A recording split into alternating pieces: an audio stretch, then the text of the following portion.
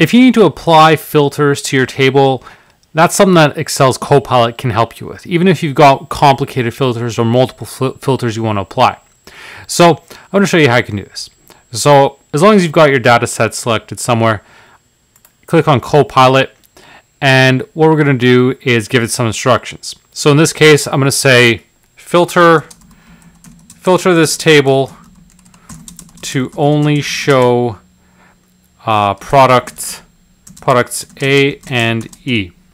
So this way I'm uh, specifying multiple criteria for it.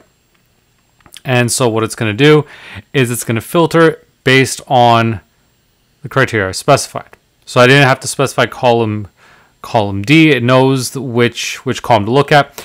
So it's going to tell me that it's going to apply a filter on the column product of table table 1. And so I'm going to click on apply. So it's going to confirm that's what I want and now it's going to apply those changes onto here.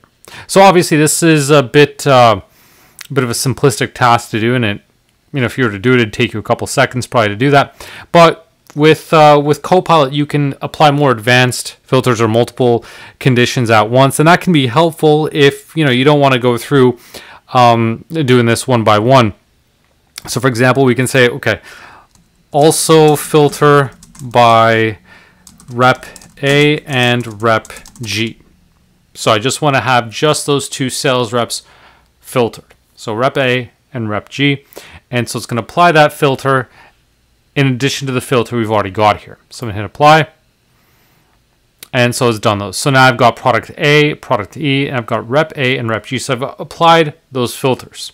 Now let's do a more complicated filter. And in this case, I'm going to filter by the sales column. So first I'm going to say remove the existing filters, then filter sales so that it shows sales values between $200 and $300.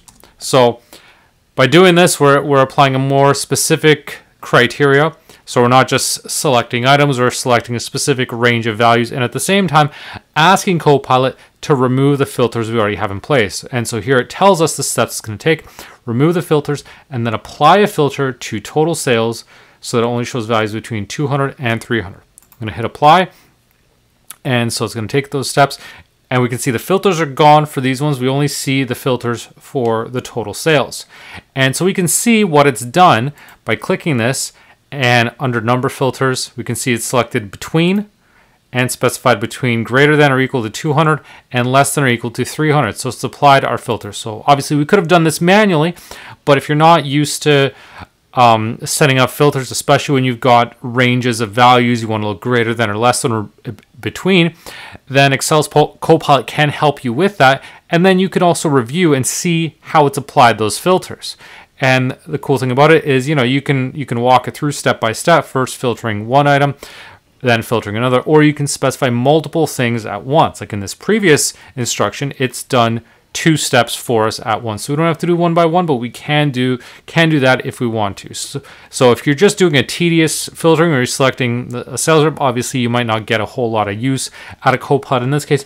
But if you want to apply uh, multiple multiple criteria such as uh, you know, filtering by multiple fields, specifying a range, then Copilot can make that process a whole lot easier to, to set that up for you, and then you can review it. And then if you like it, use the apply button to make make those changes to your to your data set.